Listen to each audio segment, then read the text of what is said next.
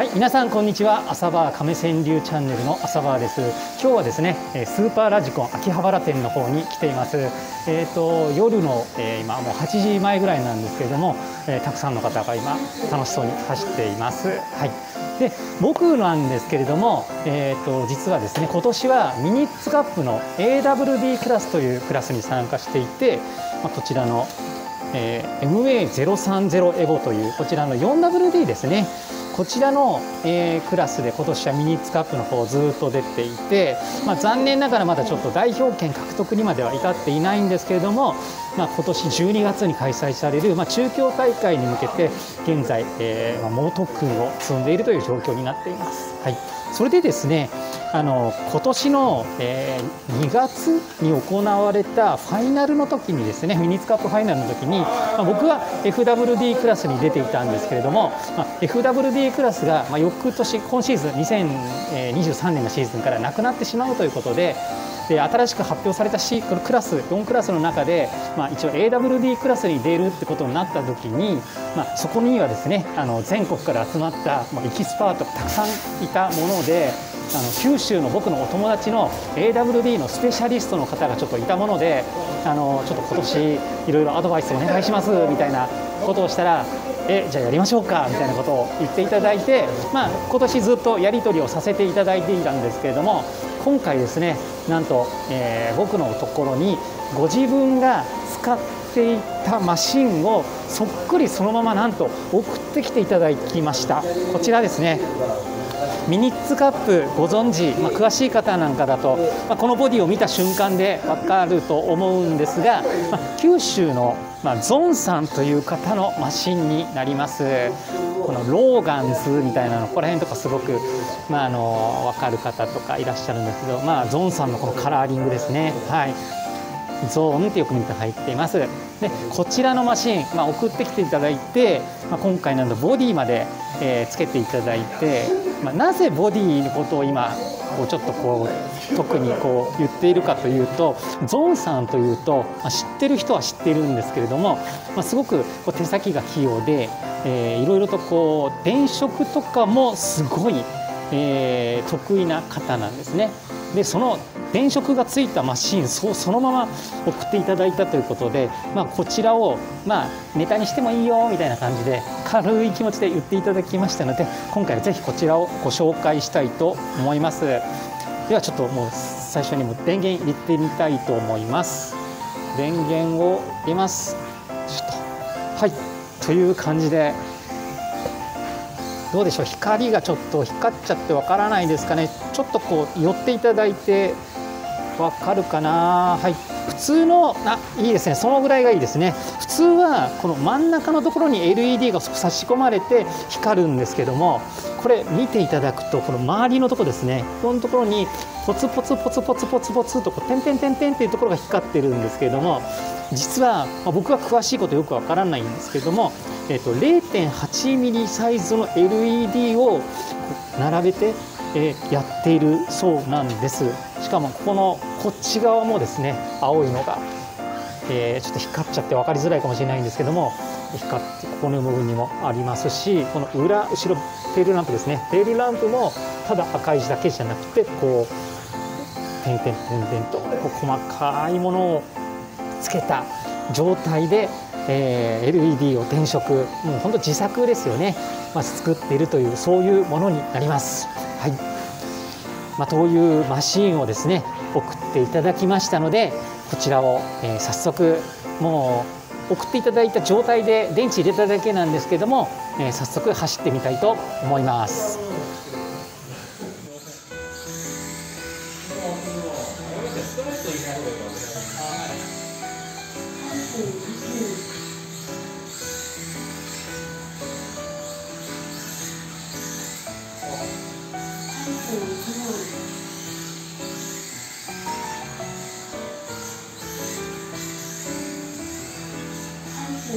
めっちゃやりやすい。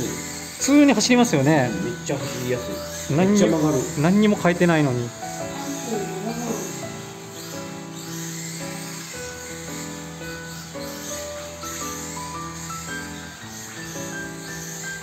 はい。が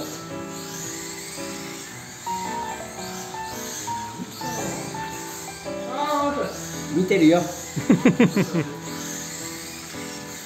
人の車だからね優しくやってますよ。人の車ですか 僕の車ですらないですからね。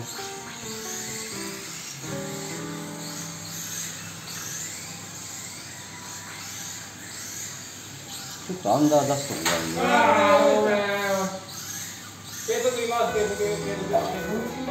何？もう今出てたのにな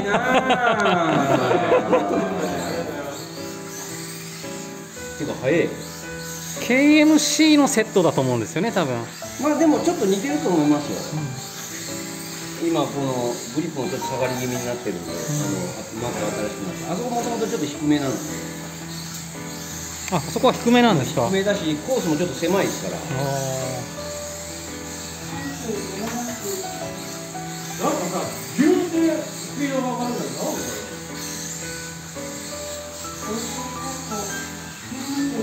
んすごいどんどん慣れてきました慣れてきましたね、タイトになってきますね。どんどん無駄がそぎ落とされていく。友達になってきた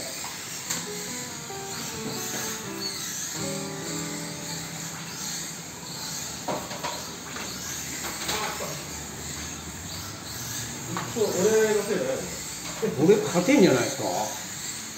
めっちゃ速いと思う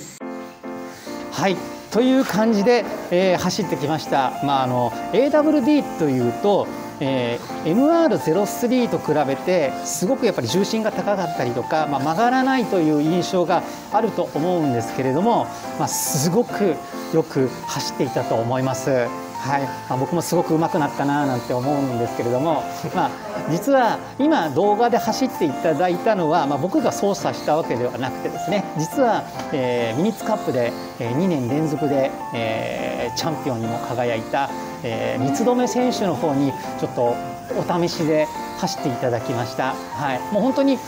あのなんだろう電池入れただけのマシンを本当こう予備知識もなくプロポを渡しただけなんですけどももういきなりあんなもうギリギリのラインを走らせて、えーすごい走りをしてくれましたそれぐらいポテンシャルの高いマシンとなっています。はい、でこちらなんですけれども、まあえー最初に説明したように、まあ、電飾がすごいことになっているので、まあ、ボディを取った裏側はさぞも配線がごちゃごちゃですごいことになっているんだろうと、まあ、皆さん思うと思うんですが、まあ、せっかくなのでどういう状態になっているのか、えーお見せしたいと思います。こちらよいしょっとこのような状態になっています。は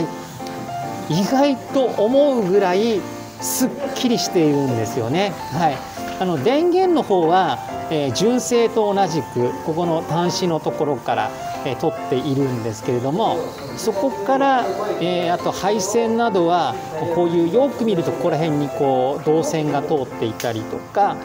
あとはまあここの部分ですね、はい。あのー中の部分に多分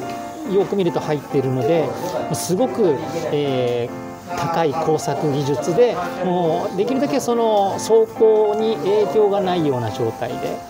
えーまあこう電飾を仕込んでいるというか、まあそういうものになっているようです。はい、それをよいしょ。はい。このように、えーすごく綺麗な電飾になっています。これ走っていると結構ミニッツのレース屋内でやっているので結構暗い感じになるので電飾がついていると、まあ、前後とかも分かりやすいので実は意外とアドバンテージになったりするんですけれどもえこの車は本当そういう意味では、えーまあレース志向にも合ったマシンになっていると思います。でまあ、こちらの方、えーせっかく貸していただいたので、えーこの後ですねちょっとどんどんどんどん走らせていただいて、えー中京大会に向けて、えーいろいろ頑張ってみたいと思います、まあ、こちらがまあ僕の車なんですけどもこう比べるとやっぱりこちらの方が明らかに目立ちますよね。はい自分もこれは目立つってこと結構意外と大事でこう後ろから、あのやっぱりこう、えー走ってきた時にこう来たからトップとか走ってたら、あのトップの車来たよみたいなのを分かってもらうことには割とやっぱ目立つ車を使っていた方が、あの避けてもらいやすかったりするので意外と結構そういう部分でも、えーアドバンテージというか効果のあるものになるのでこの、えーゾンさんの電飾結構九州の方とか、まあ、ゾンさん以外でもこういう電飾車種で走ってる方いるんですけども、まあ、そういう意味ですごく羨ましいなというふうに思っています。